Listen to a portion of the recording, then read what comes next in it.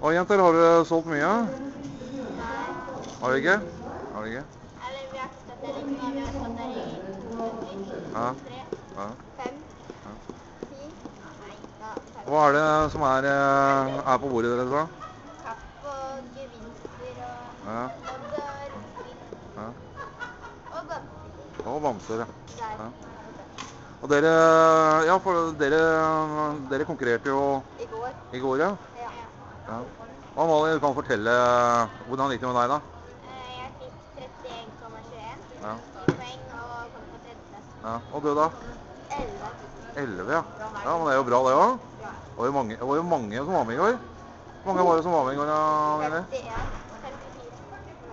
Var det? Ja, 50, 54 kanskje? 51. 51, ja. ja. Men da er det jo jækla bra da å bli nummer 3 og nummer 11, er det ikke det? Jeg ble nummer 11. 11. Ja, Jeg ble, det var ti bak meg. ja. Det er jo bra det. Det er jo knallbra. Og nå skal dere se på det litt større? Ja. Ja. Det er to stykker fra RKK, ja. Ja. ja. Det var hyggelig å prate med dere, så får dere jo se denne lille videoen kanskje